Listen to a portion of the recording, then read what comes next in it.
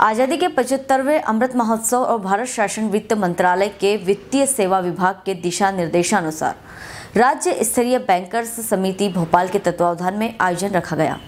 गुरुवार को तहसील के समस्त बैंक के सामूहिक प्रयास से बैंक ऑफ़ इंडिया कन्नौज के संयोजन में क्रेडिट आउटरीच अभियान का आयोजन, परिणय गार्डन में माँ सरस्वती के चित्र पर माल्यार्पण कर दीप प्रज्वलित कर कार्यक्रम की शुरुआत की गई। जिसमें मुख्य अतिथि विधायक पंडित आशीष शर्मा की अध्यक्षता और विशेष अतिथि जिला अग्रणी प्रबंधक अरविंद रंजन सीएमओ प्रमीला ठाकुर की उपस्थिति में संपन्न हुआ।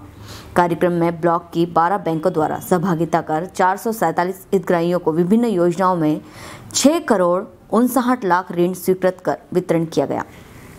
कन्नौज से कमल गर्ग की रिपोर्ट। आज क्षेत्र के 12 बैंकों के द्वारा एक संयुक्त कार्यक्रम यहाँ पर आयोजित किया गया।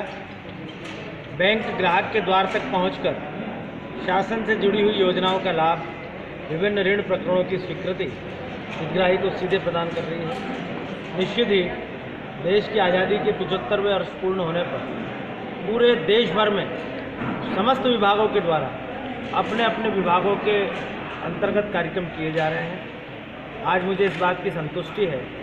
प्रधानमंत्री स्वनिधि योजना के अंतर्गत मुद्रा लोन के अंतर्गत, एजुकेशन लोन के अंतर्गत, छोटे व्यवसायियों को विभिन्न श्रेणियों के ऋण और किसानों के लिए केसीसी का वितरण भी आज इस कार्यक्रम के माध्यम से किया गया। निश्चित ही केंद्र की मोदी जी की सरकार के पश्चात बैंकों में लोगों की न सिर्फ़ आवाजाही बढ़ी है, बल्कि लोगों का बैंकिंग व्यवस्था के प्रति विश्वास भी पहले से ज़्यादा मज़बूत हुआ है। आज शासन की अधिकांश योजनाओं में डायरेक्ट बेनिफिट स्कीम के माध्यम से राशि का हस्तांतरण सीधे हितग्राहियों के खातों में हो रहा है। जनधन योजना के खाते चल रहे हैं, जिसमें गरीब आदमी की जमा पूंजी जमा हो रही है।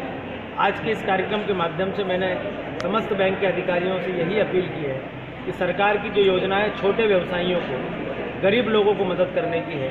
उन योजनाओं में आप ज़्यादा से ज़्यादा काम करें, ताकि सरकार के प्रति एक सकारात्मक नज़रिया लोगों में विकसित हो सके।